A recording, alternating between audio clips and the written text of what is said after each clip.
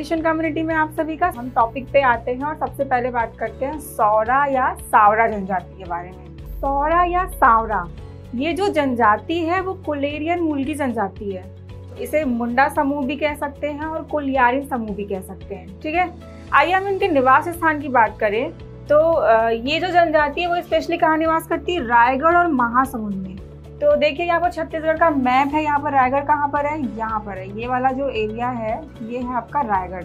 तो एक तो सौरा जनजाति यहाँ निवास करती है और दूसरा महासमुंद का जो एरिया है मतलब यहाँ पर। देखिए, छत्तीसगढ़ की सीमा रेखा पे निवास करती है और ये जनजाति बहुत ही कम क्षेत्र में, सीमित क्षेत्र में छत्तीसगढ़ में निवास करती है। इसका मतलब ये है कि इस जनजाति की जो जनसंख्या है, वो यहाँ क्या होगी? बहुत ही कम होगी। और दूसरी बात ये भी कि पीएससी के एग्ज़ाम के दृष्टिकोण से ये जो जनजाति वो जनरली पूछा नहीं जाता है, क्योंकि ये जो जनजाति है, वो बाकी राज्यों में ज़्यादा पाई जाती है। जैसे कि देखिए, इन्हें विंध्य के क्षेत्र में क्या कहा जाता है? सहरिया कहा जाता है। झारखंड में इन्हें सौरिया कहा जाता है।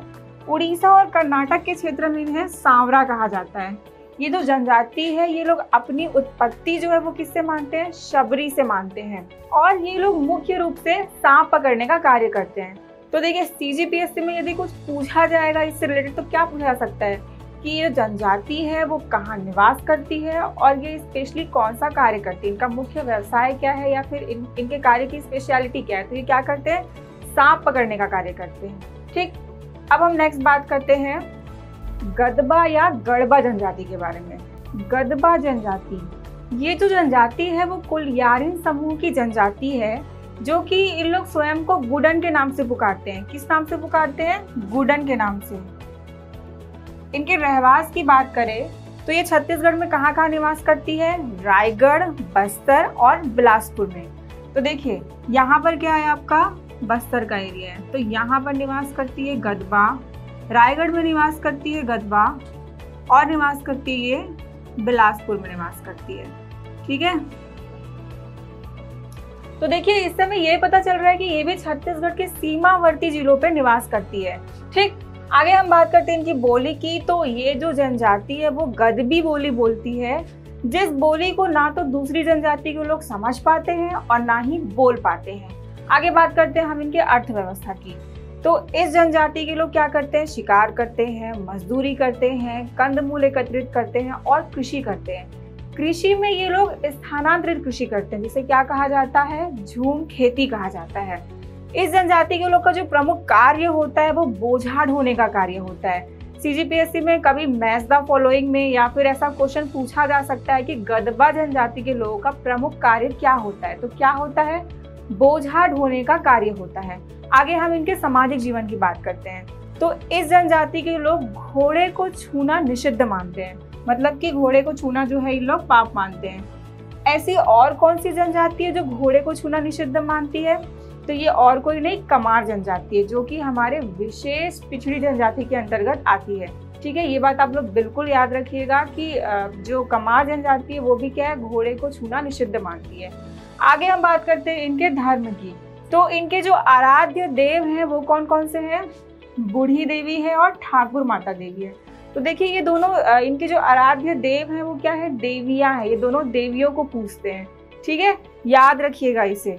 आगे हम बात करते हैं इनके वाद्य यंत्र की। तो देखिए, इनका नाम क्या है? गदबा, या फिर क्या कहते हैं? गढ़वा तो इनका जो वाद्य यंत्र है, वो भी क्या है? गढ़वा पाजा ये लोग अपने फेस्टिवल्स में, अपने त्योहारों में, अपने नृत्य में, अपने सॉन्ग्स के टाइम पे कौन सा वाद्य यंत्र बजाते हैं? गढ़वा बाजा वाद्य यंत्र बजाते हैं।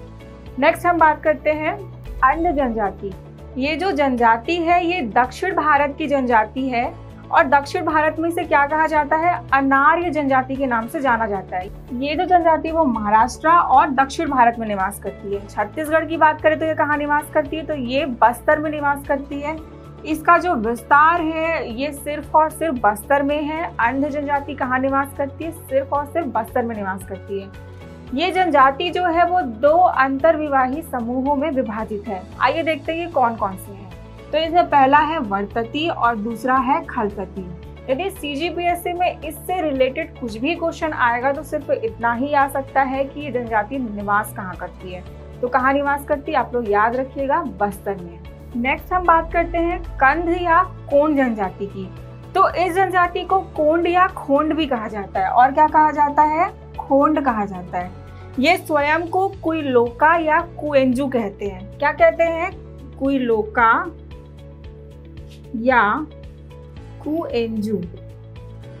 ये जो कोई लोका या कुएंजू शब्द है, ये तेलुगु के को या कु से बना है, जिसका अर्थ होता है पर्वत। ठीक?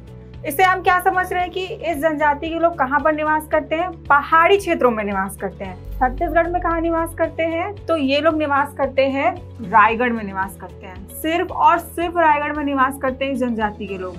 इस जनजाति के लोगों को पड़ोसी राज्य में कहा कहा जाता है? कोधिया कहा जाता है। ऐसा माना जाता है कि जो ऐतिहासिक विवरण है, उसमें ऐसा माना जाता है कि 200 वर्ष पहले ये जो जनजाति के लोग थे, ये उड़ीसा से आकर छत्तीसगढ़ में बसे थे। तो पड़ोसी राज्य कौन सा हुआ? उड़ीसा। तो वहाँ इनको क्या कहा जाता है? कोधिया कहा जाता है। और ये इसलिए ये छत्तीसगढ़ में सिर्फ़ कहाँ निवास करते हैं? रायगढ़ के क्षेत्र में निवास करते हैं, जो कि छत्तीसगढ़ का सीमावर्ती जिला है। अब हम बात करते हैं इनके उप समूहों की। तो ये जनजाति दो उप समूहों में बटी हुई है कुटिया कोण और कोण तो देखिए कुटिया कोण मतलब कि जो लोग कुटी बना के रहते हैं तो ये लोग कहाँ रहते होंगे? ये लोग पहाड़ी क्षेत्रों में निवास करते हैं। तो जो कुटिया कोंड है, वो पहाड़ी क्षेत्र में रहने वाली कोंड जनजाति है और जो सिर्फ़ कोंड जनजाति है, वो कहाँ निवास करती है? मैदानी क्षेत्र में निवास करती है। तो निवास के आधार पर इन्हें दो उप समूहों में बांटा गया है। नेक्स्ट हम बात करते हैं खरिया जनजाति के बारे में। खरिया या खड़िया जनजाति?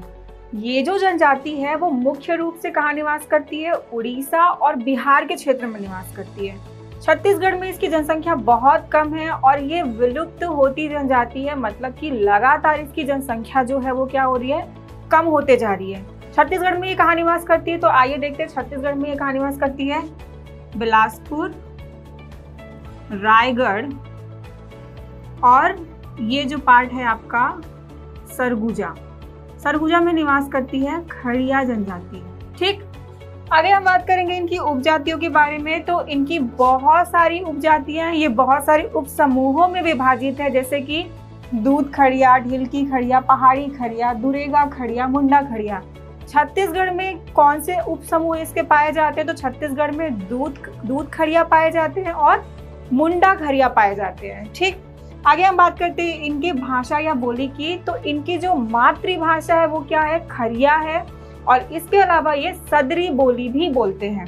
नेक्स्ट हम बात करेंगे इनकी अर्थव्यवस्था की तो इस जनजाति के लोग क्या करते हैं? स्थानांतरित कृषि करते हैं और हस्तशिल्प से रस्सी बनाने का कार्य करते हैं। यदि हम इनके, यदि सीजीपीएससी में कभी क्वेश्चन पूछा गया कि खरिया जनजाति के लोग का पारंपरिक कार्य क्या है तो क्या है इस जनजाति का पारंपरिक कार्य? हस्तशिल्प से रस्सी बनाने का कार्य है। आगे हम बात करेंगे इनके धर्म की तो इस जनजाति के लोग बंदा देव की पूजा करते हैं। इनके त्योहार की बात करें तो ये लोग स्पेशली कौन सा फेस्टिवल मनाते हैं? कर्मा और पुष्पुन्नी त्यौहार मनाते हैं। पुष्पुन्नी मतलब इस नाम से ही समझ में आ रहा है कि ये त्यौहार पौष माह में मनाया जाता है। दोस्तों, एक बार और हम इसे रिवाइज कर लेते हैं कि इस जनजाति के लोग निवास कहाँ करते हैं। निवास इसलिए हम रिवाइज कर रहे हैं क्योंकि यदि इससे रिलेटेड कभी कोई क्वेश्चन पूछा जा सकता है तो सिर्फ़ इनके निवास के क्षेत्र के बारे में पूछा जा सकता है और दूसरा इनके पारंपरिक कार्य के बारे में पूछा जा सकता है। तो देखिए, ये सारी जनजातियाँ जो है वो कहाँ निवास कर रही है? छत्तीसगढ़ के सीमावर्ती जिलों में निवास कर रही है। सबसे पहली बात तो ये। दूसरी बात कि जो भी मैक्सिमम जनजातियाँ हैं वो रायगढ़ में तो निवास करती ही है। देखिए, गदबा है, सौरा है कोट है, खरिया है, ये सारी की सारी जनजातियाँ जो हैं वो रायगढ़ में निवास करती है। दक्षिण में देखेंगे तो सिर्फ़ गदबा और अंध निवास करती है, ठीक है? तो दक्षिण में कौन कौन से निवास करती है? अंध और गदबा और यदि सौरा की बात करें तो वो महासमुंद में निवास करती है। बाकी सारी जो जनजातियाँ वो कहाँ है? ऊपर की तरफ़ सीमावर्ती जिलों में निवास करती है। तो ये आप लोग बिल्कुल याद रखिएगा, ये सी में पूछा जा सकता है। आज की वीडियो में हमने पाँच जनजातियों के बारे में बात किया। ये हमारे जनजाति परिचय का आखिरी पार्ट था। अब हम अपने नेक्स्ट वीडियो में क्या बात करेंगे कि जनजातियों के फेस्टिवल कौन कौन से हैं, कैसे मनाते हैं उन लोग, उनका नृत्य क्या है, उनके गान क्या हैं, और कुछ जनरल बातें याद करेंगे कंपैरिजन लेवल पे।